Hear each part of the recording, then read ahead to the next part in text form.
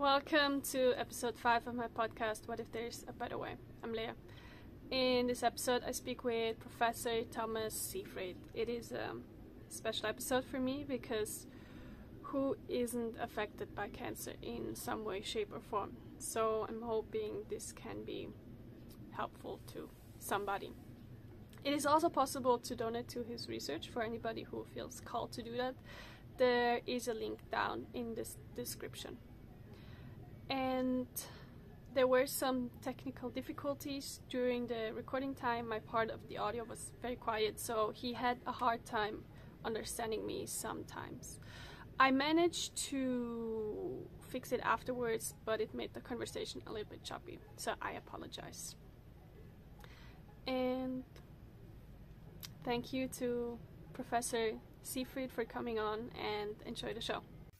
Welcome, Professor Seyfried. Hi, how are you? Nice to be here. Great to have you. Uh, can you give a little introduction about who you are and what you do?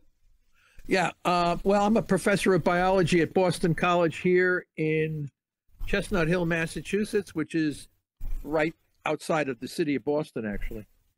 And um, I teach the cancer biology class and I teach general biology uh, to undergraduate students. And I have a very active uh, cancer research laboratory. I work with um, uh, physicians and basic scientists uh, throughout the world. Very interesting. Were you always interested in cancer specifically, or did that um, evolve over time? Well, probably for the last 35 uh, years, mm-hmm. Uh, for sure. But I did a lot of work in the field of epilepsy, genetics, uh, and these kinds of things biochemistry, lipid biochemistry, Tay Sachs disease. I, have worked in a lot of different genetics and biochemical uh, uh, on a lot of these kinds of issues. Interesting. And so you have a you're a little bit of a contrarian, let's say, to the general cancer thesis, right? So yeah. can you can you explain so first of all what like cancer specifically is and then compare what the general thought is and what your research has taught you? Yeah. A cancer is defined as cell division out of control, dysregulated cell growth. Okay. Um, most um, oncologists think that this is the result of gene mutations. Um, our uh, theory is different. It says that the origin of dysregulated cell growth arises from the mitochondria in the cytoplasm, and that uh, the mutations are uh, downstream effects. They are not the cause of cancer, they are the effects of cancer, and that the dysregulated cell growth is the result of mitochondrial dysfunction, where the cell can no longer generate energy through oxygen, but must rely on ancient pathways of fermentation to generate energy. So, energy is everything. Without energy, nothing can survive. Uh, energy is the key essence uh, of life. Cancer cells generate energy through fermentation. Uh, normal cells generate energy through oxidative phosphorylation. So the main difference between cancer cell and normal cell is how they generate energy. So when you generate energy through chronic fermentation, you collect all these mutations and all these things that people study. They're all downstream effects. They're not the cause of cancer. The cause of cancer is a dysregulated uh, uh, respiratory system coupled with increased fermentation. And the fuel that drives the fermentation is the amino acid glutamine and the sugar glucose. So without glucose and glutamine, no cancer cell can survive. All other issues are less important. So, where does the cancer get the sugar and the glutamine? where does it get the fuel Mm-hmm. to grow? Yes. Okay, so glucose person. is in everywhere, right? And everything Mhm. you eat generates some sort of glucose. And the glutamine is uh, made from glucose. It's non-essential amino acid. So you need drug. You you can manage glucose with diet, uh, but you will need a drug to restrict the glutamine. So uh, you must target glucose and glutamine simultaneously. That means together, while transitioning the whole body over to ketones, um, which are derived from fatty acids. So ketogenic diet together, uh, restricted ketogenic diet will lower blood sugar, elevate ketones, uh, which is the ketones are for the normal cells, not the tumor cells. And then you target the glutamine at the same time. And this strategy should manage all major cancers without toxicity. Okay, that's The- the problem is- right? The problem is no one can understand this. I, I might as well be speaking in ancient Egyptian or Greek. Uh, no one can understand what I just said. Um, I, I, it's very simple, but no one can understand it. So I, I, I'm, I'm, I'm always wondered how is it possible that I say cancer is a mitochondrial metabolic disease driven by fermentation, and the fermentation fuels are glucose and glutamine, and the tumor cells cannot burn ketones. So the solution to the cancer problem is simultaneously restriction to glucose and glutamine while transitioning the body over to therapeutic ketosis. Keeps the normal cells healthy and targets and kills the tumor cells at the same time. So, but for whatever reason, uh, people cannot understand this. Yes, I like. There's in the general medical field, you never hear about this. They can't. Nobody- I don't know. I, I think there's two things. Number one, they don't want to understand it. Uh, and number two, uh, it's hard to generate revenue uh, when you uh, have a very simple solution to a problem. In other words, we do not think radiation is necessary for the ma- managing cancer, the majority of cancers. We uh, don't think uh, toxic chemo is necessary for managing the majority of cancers. Immunotherapies that are the the hot thing today are all based on the gene theory of cancer. If the gene theory of cancer is incorrect, you're not going to achieve the uh, success um, that you would that you would have. So I, I'm telling the world that the view of cancer, the reason why we have so many deaths and suffering from cancer, is because the theory is incorrect. Once the theory, once cancer becomes recognized as mitochondrial metabolic disease, the disease will be managed effectively. But it's hard to convince, hard to describe this to people. Uh, lay people understand it more than the scientists understand. I think the scientists understand it. They just don't want to. They don't want it to happen because that means whatever they're doing is probably insignificant, which is uh, which is kind of unsettling for the majority of cancer researchers. Yes, a lot of like people's life work would have to be thrown out the window. Say, say again. A lot of people's life work would have been have um, they would have to throw it out the window, basically. All of the work. Yeah, I wasn't able to life. pick that up too clearly. Yeah, Oh. again, it was a little soft. Oh, it, a lot of people's life work would have have to be thrown out the window, right? Um, yes, you're correct, and that is a very disturbing uh, to the majority of cancer re- researchers. That most of what they're doing is insignificant. Ah, it's terrible to say that. You know, I'm sure that if someone were to come to me and say, you know, your mitochondrial metabolic theory is wrong, and everything that I've been doing is incorrect. My argument is, show me, tell me, prov- provide me with the data showing that I am incorrect. And I will be more than happy to debate and discuss this with anyone. And I will clearly show how the, mito- the how the somatic mutation theory, the gene theory, is uh, incorrect. They cannot explain the nuclear transfer experiments. They cannot explain why we have all these oncogene uh, driver genes in normal tissue. Uh, how do you explain uh, cancer mutations in normal tissue that never become cancer? How do you explain the fact that there is some tumors that have no mutations? So how can you tell me that cancer is due to genetic mutations when we have all of these inconsistencies?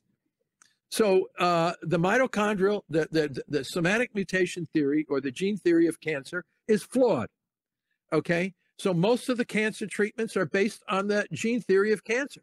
If the theory describing the disease or the phenomenon is incorrect, what is the probability of treating people with therapies based on an incorrect theory? You're not going to get the resolution. You're not going to get the effects. So we have to kill millions of people worldwide by toxic treatments uh, because people cannot accept the fact that they might be incorrect in their way of understanding cancer. I mean, eventually, at somebody your age, if, if you live to be 76 years old and we are still irradiating and poisoning people to make them healthy, uh, then we have a real problem. I hope it doesn't right? happen. Yes. Well, I hope so too. you know, uh, let everybody know it's not a genetic disease.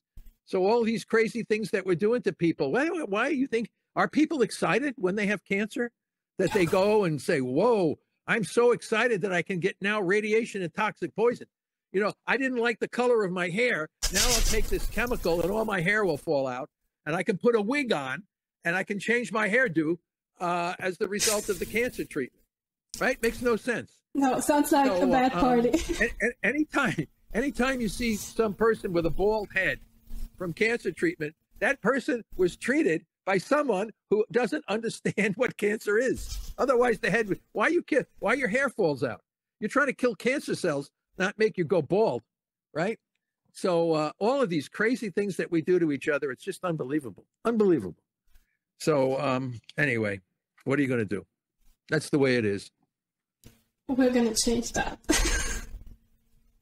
so basically, the pudding, the proof is in the pudding, and it's about the results that the different treatments get. So, what are some of the results that you get or got through your theory and your treatments? Yeah, well, um, that's important because people say, well, where's the evidence? And the evidence is we are publishing case reports of individuals who do metabolic therapy and live far longer than they would have had they done conventional therapy. We are, are rescuing some uh, stage four cancer patients from their disease uh, by giving them uh, metabolic therapy as opposed to uh, radiation, chemo, or or immunotherapy. So um, there are no clinical trials yet, mm-hmm. mainly because uh, no hospital wants to uh, pay for this. How, how you, I mean, usually pharmaceutical company pays for clinical trial.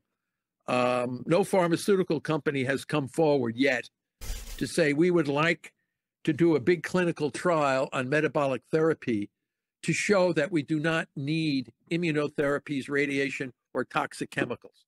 Uh, there's no level of enthusiasm to do something like this right now. So uh, we need a business model.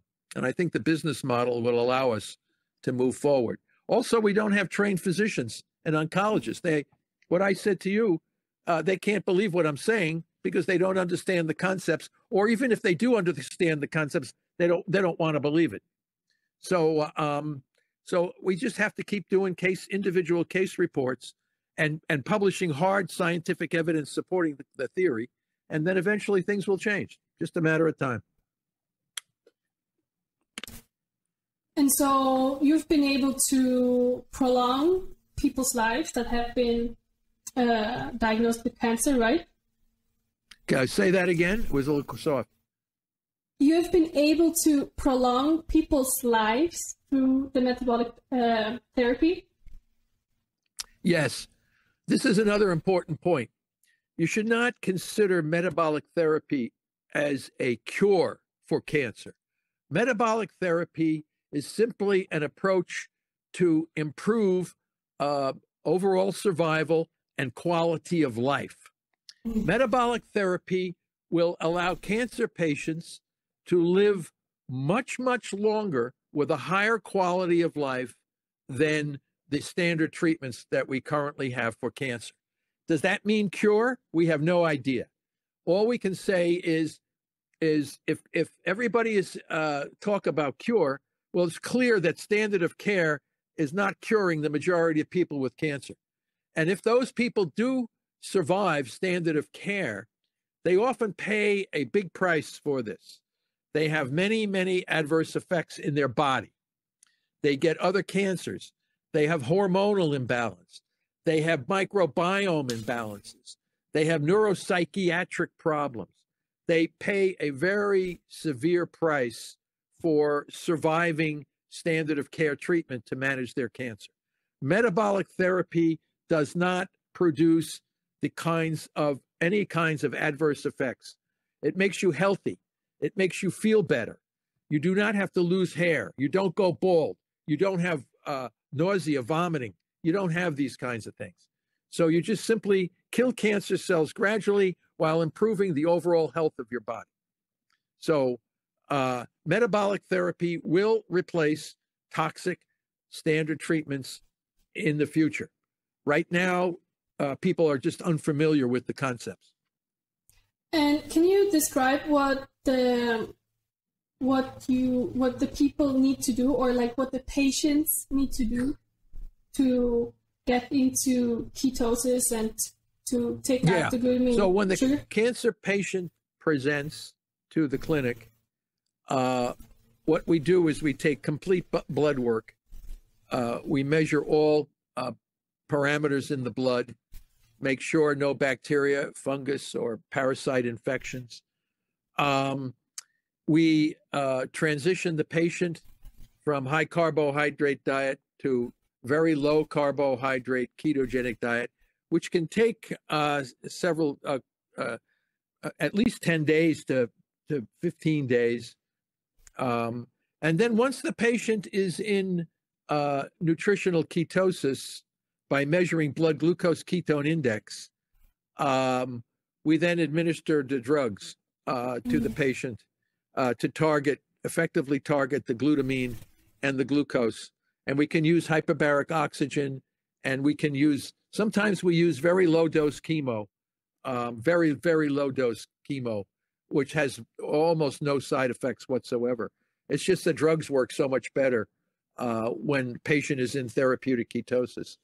Um, so it's a gradual degrading of the tumor over time. Uh, we're trying to complete the whole process within within a four to six month period, uh, similar to uh, what would do for standard of care. So, uh, um, except that now the patient emerges in a very healthy state uh, with cancer managed. Now, we don't say cancer is gone, we say cancer is managed. It mm. may still be there, but not growing, or it could be gone. Uh, you do uh, MRI, CAT, PET, uh, the various non invasive technologies. We don't like to use biopsy uh, to assess the cancer. Uh, biopsy has runs the risk of spreading the cancer throughout the body. Uh, we we do surgery only after the tumor is shrunken down, very small, uh, without any inflammation, and then the surgeon can remove the tumor uh, quite effectively. We don't like to use surgery at the beginning because it could spread the tumor, just like biopsy. So uh, we have a very clear uh, protocol for the treatment of cancer that is based on cancer being a mitochondrial metabolic disease. And this will all be worked out very very thoroughly in the clinic. Not terribly complicated, uh, but will be highly effective. I see. And so the patient presents itself at the clinic, and then you do the tests, and then uh, they change what they eat. So for those people that don't know how the body would start to get into ketosis, what do people need to eat to be in a ketogenic state? Well, you have to uh, be under the guidance of a certified um, practitioner, whether that is a nurse, nurse, uh, physician's assistant, physician, nutritionist. The patient needs to be guided, and the patient also needs to monitor their own blood work. And we published the uh, glucose ketone index, uh, and there's blood uh, meters now that you can buy on Amazon uh, that will allow the cancer patient to monitor their own blood work. And then they would go to the physician and say, okay, I am in ketosis. And at that time, they would be administered the drugs uh, that work together with the ketosis to kill the cancer cells. you know, we use glutamine targeting drugs. Uh, we use uh, parasite drugs, mebendazole, fenbendazole.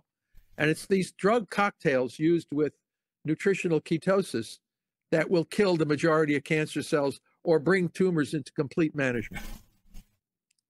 And so, um, so for example, if a patient likes to eat cake, is that what? If a patient likes to eat lots of cake and sweets, is that helpful? Uh, cannolis, right? Cake, yeah. like the sweets. patient likes to eat cannoli. What's no, no, cannolis? That will not work. That patient will not survive. okay. So uh, Just no trying cake, to clarify. no cannolis. Yeah, none of that. No cannoli, no cake, Mhm. no sfogliatelle, none of these kinds of pastries. Okay. Um, you know, this all has to be removed from the diet until the cancer is managed. Once Mhm. the cancer is managed, uh, it may be possible to eat a pizza. Mhm. Um, but, you know, uh, until that, you have to recognize that it's your choice. It's the patient's choice. Do they want to live or do they want to die? it's not a, it's, it's, it's a choice, right? I mean, you don't tell the patient, do you want to live or you want to die? You know, it's just, uh, you know, I'm not saying it. I mean, if they want to eat cake and cannolis, I mean, that's their problem. You know, we had an Italian patient we had from, Yeah. uh, where was that? Maybe it was Milan. Mhm. Milano. Um, she was doing very, very well with, with glioblastoma on metabolic therapy and thought she was uh, cured, uh, but she was not cured. And then she went back and ate the cannolis, and the cancer came back and she died. Ah, So, uh, um, you know, no cannolis no cannolis. and you also have to. unless you have a keto cannoli. okay. I don't know if that's possible. See, food food uh, people are working on all these kinds of keto foods, but I can tell you a, a keto cannoli is not as good as the regular cannoli. And what about carbs? Are they helpful or detrimental?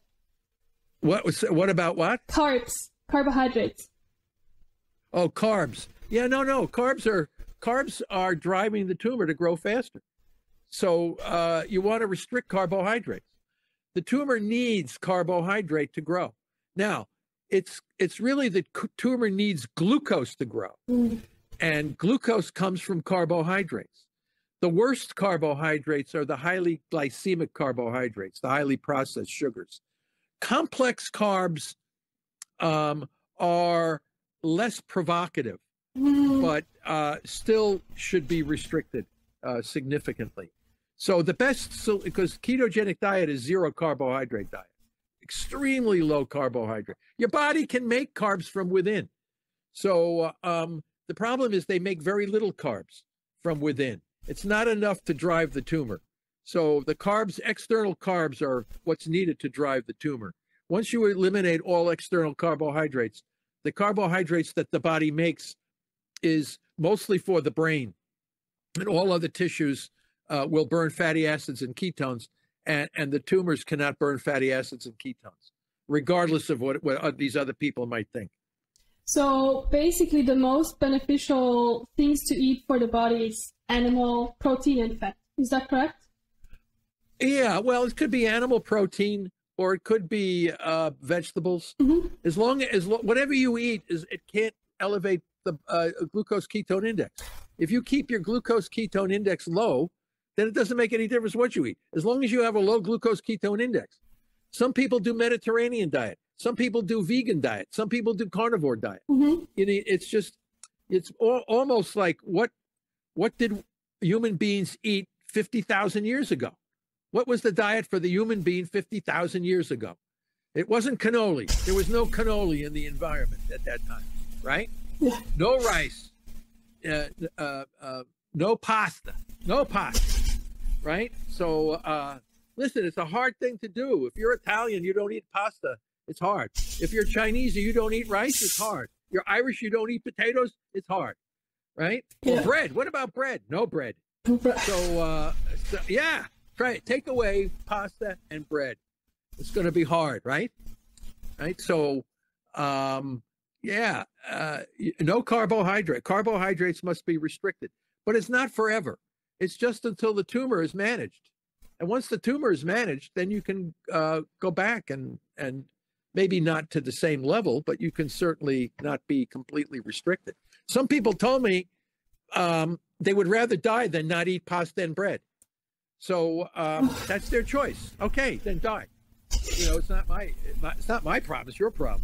You know, I had I, I have a Korean Korean told me he can never live every day. He has to have rice every single day, and would rather die than not eat rice. So I said, okay, that's so that's your choice. That's not my choice. So, uh, right? Yeah. You gotta want it.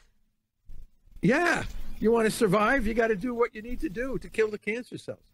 And then once the cancer cells are managed, then you might be able to eat ri- rice or pasta, but not during the management period. Not not Hmm. not that at all. Okay, so basically the mitochondria needs to be in a healthy state, correct? Yes, yes. Okay, mitochondria need to be maintained in a healthy state, and um, you know, uh, exercise is excellent Mhm. to maintain this. uh, periodic fasting, um, what they call intermittent fasting. Mhm. Uh, it's hard to do long-term fasting or zero carbohydrate diet for a week. You can do that. There's a lot of ways to lower your blood sugar and elevate your ketones um, to prevent uh, cancer and keep your mitochondria healthy.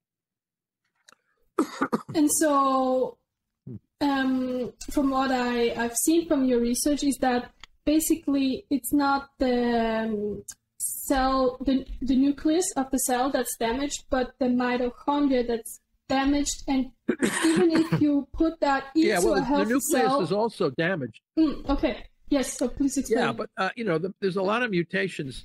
Mo- most cancers have mutations in the nucleus. Mhm.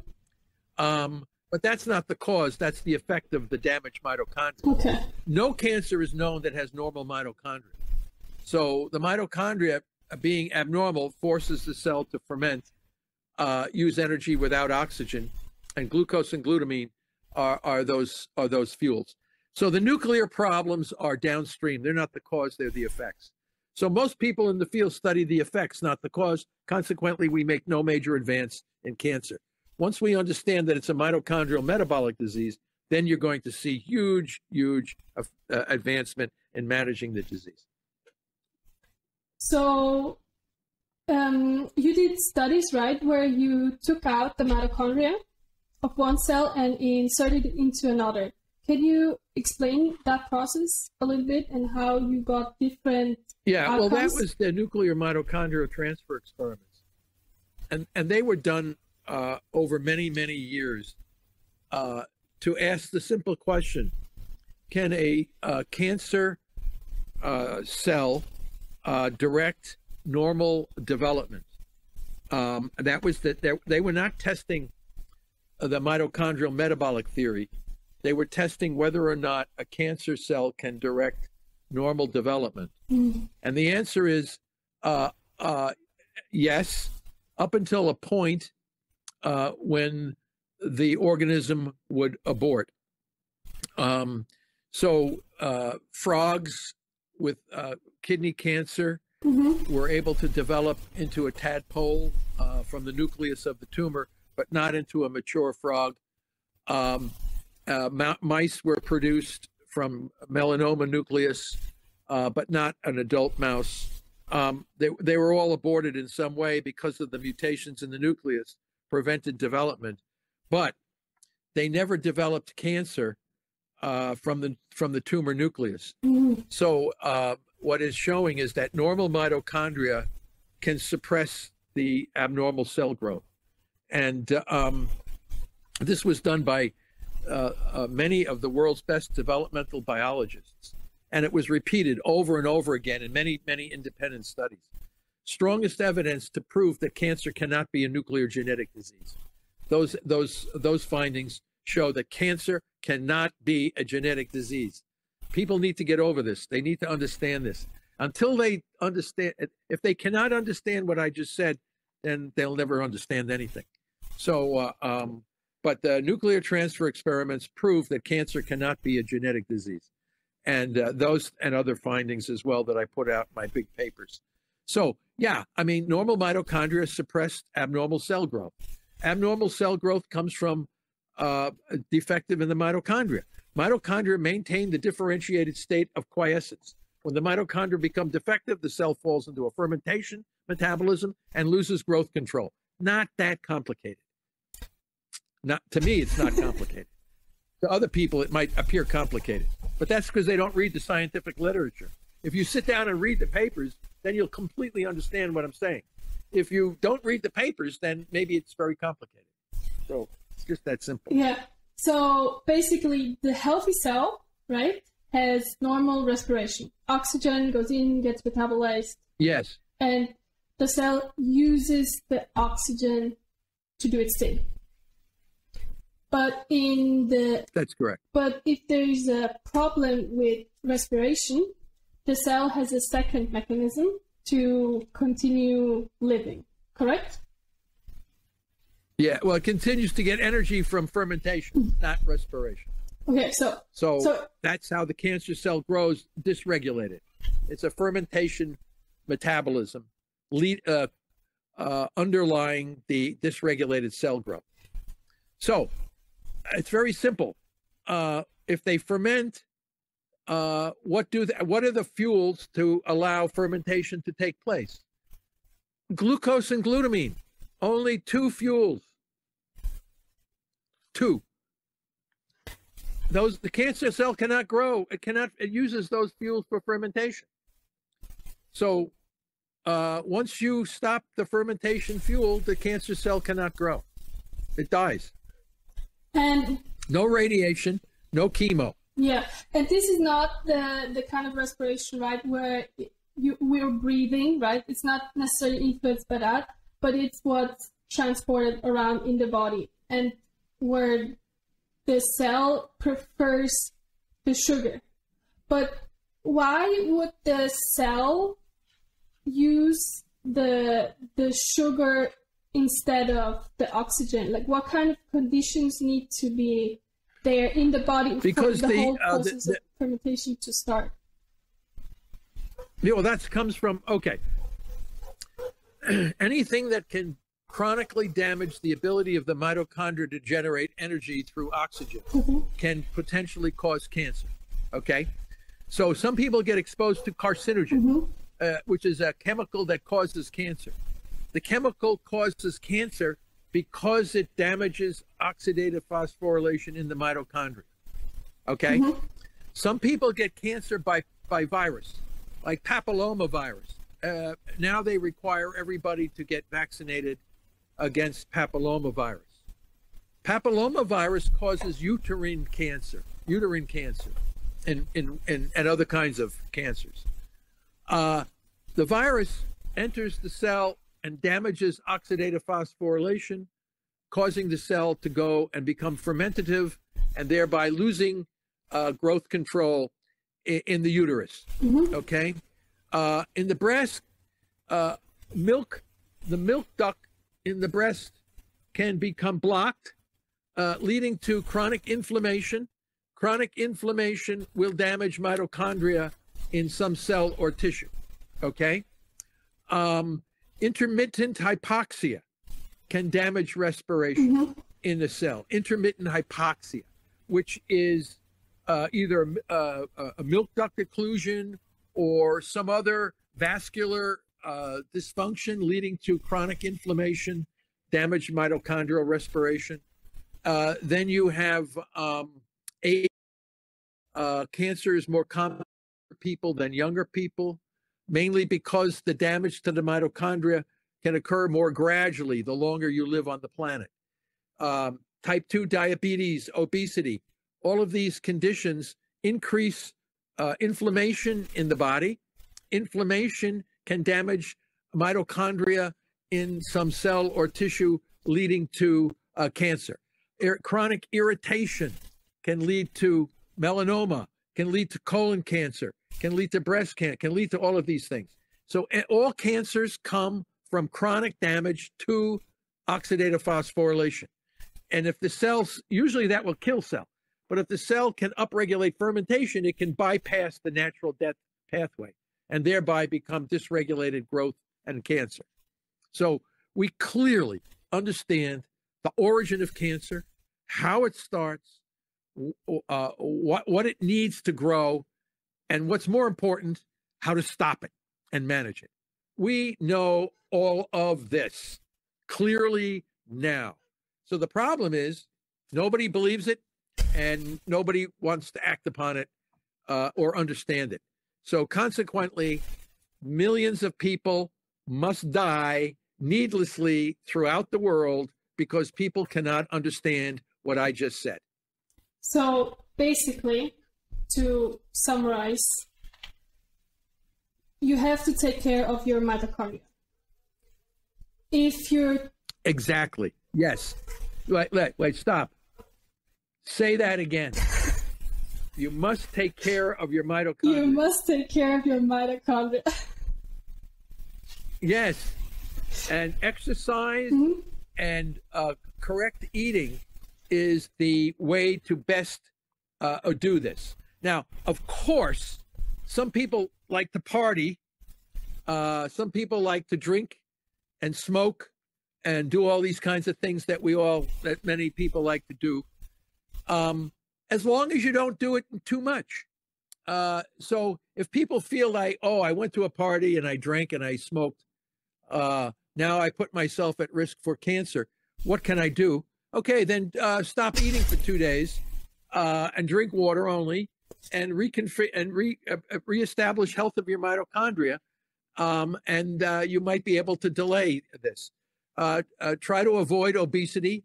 Try to avoid type two diabetes. All these diseases are all all related to mitochondrial dysfunction. So in one way or the other. So people now should know what to do. I'm not saying everybody should, you know, uh, do water only fasting. But I'm saying now we understand what causes cancer. We should be able to uh, adjust diet and lifestyle to it, to deal with that. So the simplest way to prevent or manage it, let's say, would be to be in a ketogenic state. Don't drink, or well, in ideally, don't drink, don't smoke, go to bed at a decent time? No, no, no, no. No, I didn't say. No? no. Okay, okay. Please correct me. Don't don't drink or smoke too much. Too, oh, too much. Okay, okay. Yeah, yeah, yeah. I mean, guys smoke cigarettes all day long. They put themselves at risk for lung cancer, colon cancer, and other cancers. But I, you know, you smoke one cigarette a, a, a day or or one cigar a week. Uh, I, I don't think that's going to kill you. Okay. So, uh, or give you, it's not, it's not going to increase your risk for cancer too much. If you want to be pure, mm-hmm. and most humans are not pure, you do water only fasting, mm-hmm. right? And most people don't want to do that. So, uh, you think Italians want to go out and just drink water for a week? I don't think so, right? Who wants to do that? Germans are going to do that? I don't think so either. You know, Chinese? Nah, nah. Most people are not going to do these kinds of things, right? even though that's what would prevent cancer. Cancer is a disease of diet and lifestyle. Uh, primitive people, uh, Aboriginal people, rarely had cancer. So our ancestors of 50,000 years ago, cancer was extremely rare. Uh, uh, even in, even today, in Aboriginal populations, um, cancer is very, very rare in Eskimos and Africans and uh, South American jungle people, Aboriginal people live in, in, a, in a lifestyle similar to 50,000 mm-hmm. years ago. So uh, cancer is extremely rare. Um, cancer is very rare in in the wolf. In the wolf, uh, cancer in domestic all domestic dogs uh, came from the wolf. Um, but cancer is number one killer of domestic dogs. Uh, dogs eat the same food we eat. I mean, they're eating too much of the wrong food and they get cancer. Uh, wolf eats natural things. Uh, anybody who lives in the Paleolithic lifestyle is at much lower risk for cancer. Paleolithic, how we did it, how we lived uh, 50,000 years ago. Okay. What did you eat? What did our ancestors eat 50,000 years ago? They ate animals. Uh, they ate whatever kind of plants uh, and berries and things like this. Uh, they exercised a lot. You had to chase and kill the deer in order to eat the deer. Okay. Today we drive up to McDonald's and they pass the food through the window, and you don't even have to get out of the car to get the, the food, right? Yeah. And therefore, you get diabetes, obesity, and cancer, and dementia, and all the kinds of things because of diet and lifestyle. So, uh, you know, but no one wants to go and kill deers and eat deer. So uh, they prefer to have someone else kill it and feed it to them. no, no rice, no pasta, no bread. You know, you didn't have. We didn't have any of that stuff fifty thousand years ago. You know, so the Paleolithic, the Neolithic period, I think started around ten thousand years ago, um, when we started to cultivate grains, corn, rice, wheat, uh, and then we made bread, and then we made pasta, and then we developed rice, and then we got cancer.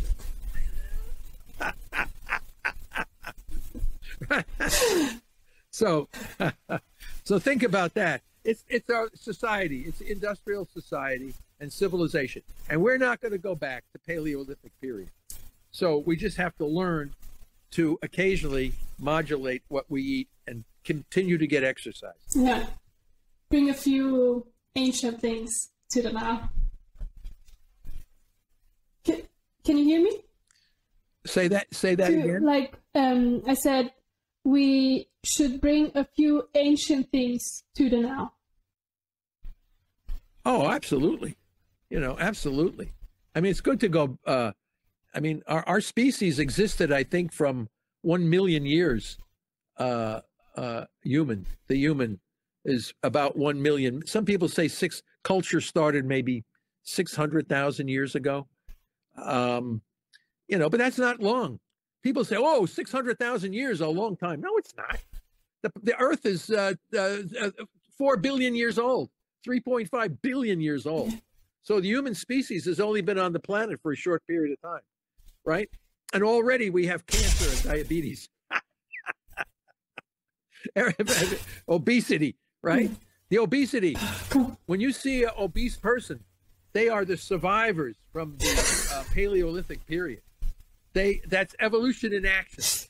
Those people are living in the wrong environment today, but they were the people that survived famine and starvation. Their body could hold all this energy. Now they eat cannolis every day and eat bread with butter on it, and they get fat. You know, so uh, this is, and then they get diabetes, and then they get cancer.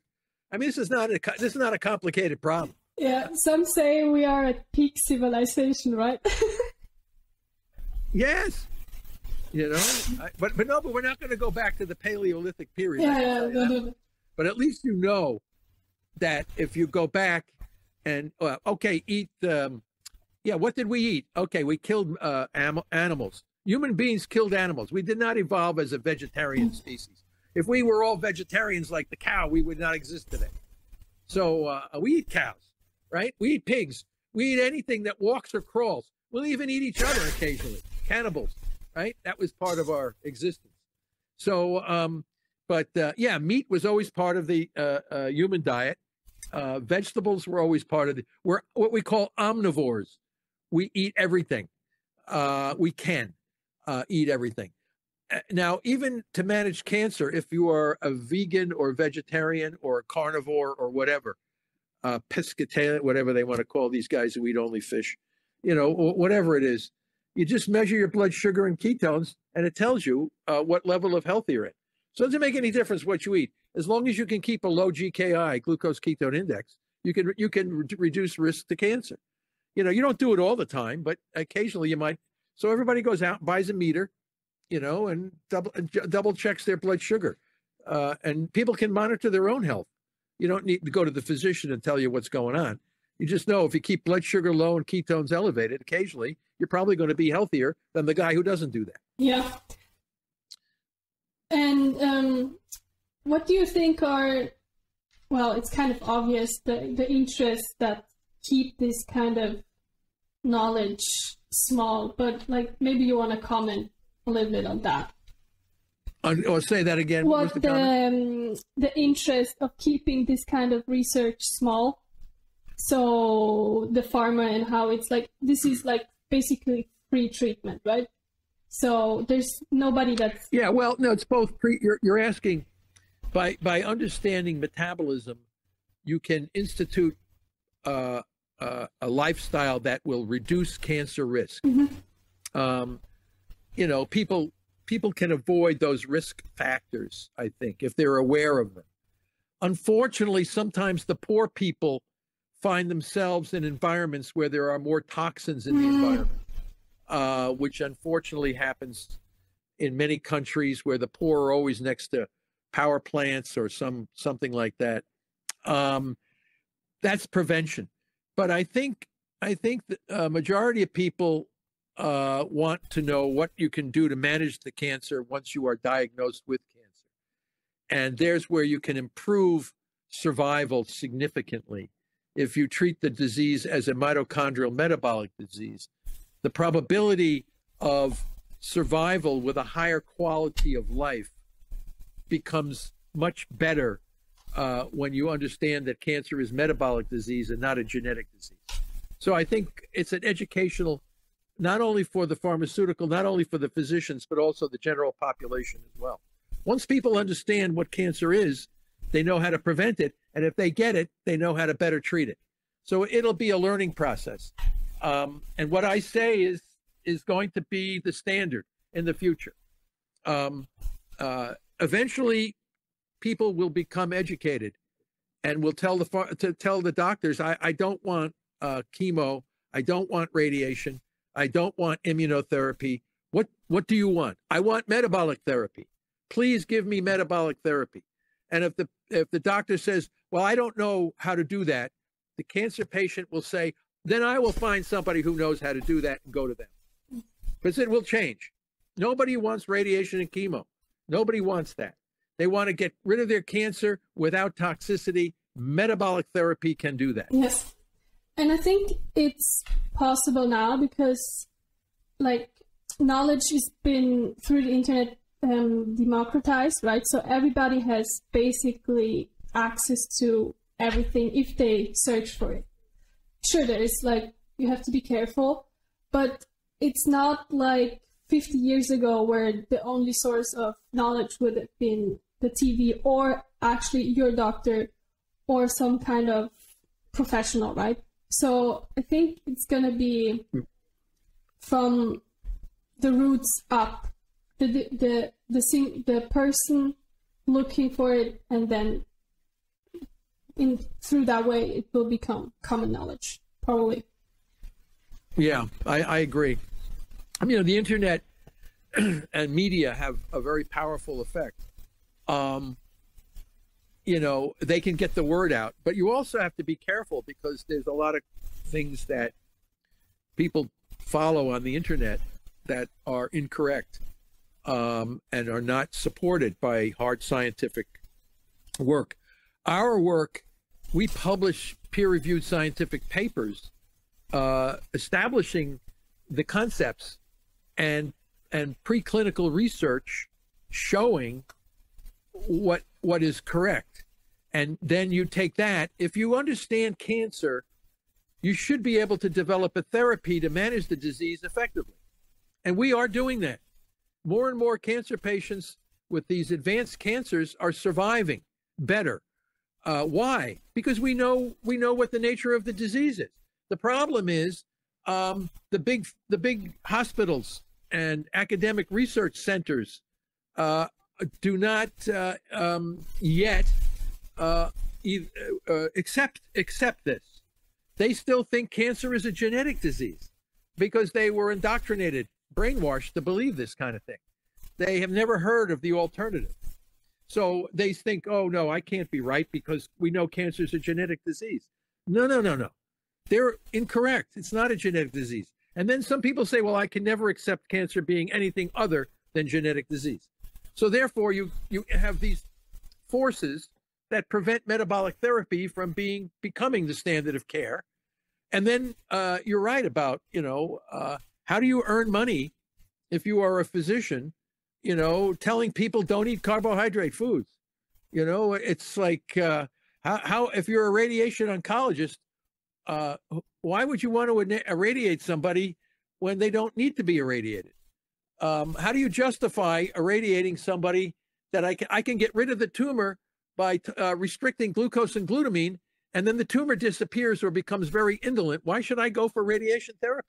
Doesn't make any sense. You know, why should I take a, a toxic chemical to kill my tumor when I can just take away glucose and glutamine to kill the tumor? So, uh, um, you know, it's without causing toxicity or going bald or any of those kinds of things. So, this is going to be a very difficult thing for many people to accept. But hey, you want to manage cancer, you do it. You do it what we're saying. If not, then you go and take chemo and radiation. People, we're not stopping anybody who wants to have radiation and chemo. I'm not stopping them. I'm not telling them go and do radiation and chemo. If they want to do radiation and chemo, that's their that's their choice the doctor says, "Oh yes, you must do radiation and chemo," and uh, he says that, uh, "Well, what about other things?" Well, radiation and chemo are the only things that I know about. So um, until he knows, does he know uh, the Warburg theory of cancer? Does the physician understand that glucose and glutamine are the only fuels driving the cancer that he's trying to manage? If not, then go find somebody else that does understand. You know, the, the field is going to have to change quickly. Otherwise, we're killing all these poor people are dying. Yes, unfortunately.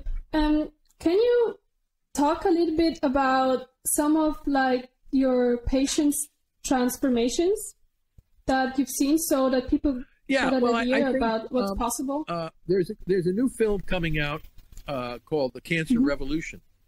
Uh, it's a documentary film, and they interview many many uh, stage four cancer patients who who uh, what they call terminal uh, who are no longer terminal. Um, so there's uh, they relay their stories. Uh, Pablo Kelly from England, uh, he's on the web now telling everybody how he survived glioblastoma um, with metabolic therapy.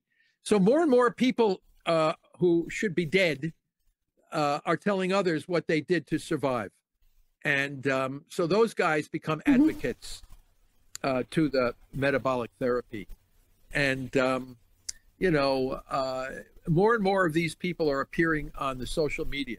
So uh, I think, uh, and that's another motivational factor. They want to be, they, they can tell others what they did to survive. And so, even with stage four cancer, there's hope, basically. Yeah. You know, they always say terminal cancer. Um, people say, "Oh, I, I'm diagnosed with terminal cancer." Who says that terminal cancer? The guy who's treating you with radiation and chemo is telling you it's a terminal cancer because you know we did everything to the patient and the cancer's still there. Yeah, you did everything except target glucose and glutamine. You know, once you start targeting glucose and glutamine and transitioning the body to ketosis, you'll do much better. Now, that doesn't mean, unfortunately, people, so many people come to me uh, after uh, chemo and radiation and immunotherapy, none of that stuff works. And then the physician says, "Oh, there's nothing more we can do." Uh, well, you did almost everything to kill the poor patient, and and now now you're telling me you can't do it anymore. So, um, you know, uh, not and then the patient tries metabolic therapy and it doesn't work, only because the body has been so beat up and destroyed by toxic poisons and radiation that the body can no longer rally in a healthy way to defeat the cancer. So uh, uh, usually, most of the people who start metabolic therapy up front um, really do well, and they never need radiation or chemo.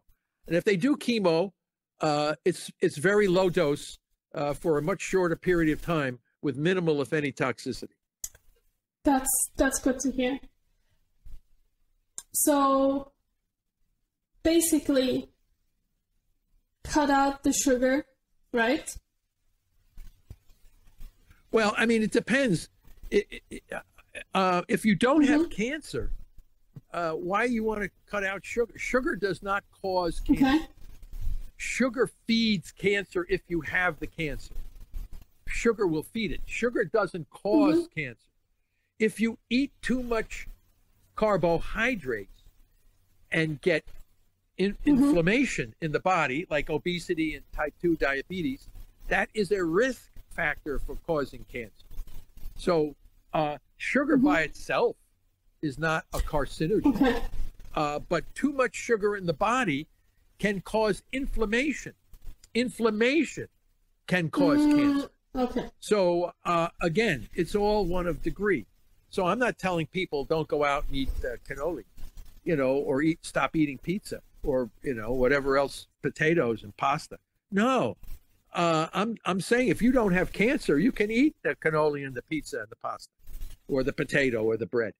But but uh, if you have cancer, you would not eat those kinds of things. And would you um, recommend going more on a ketogenic diet as a prevention or only as a treatment, basically?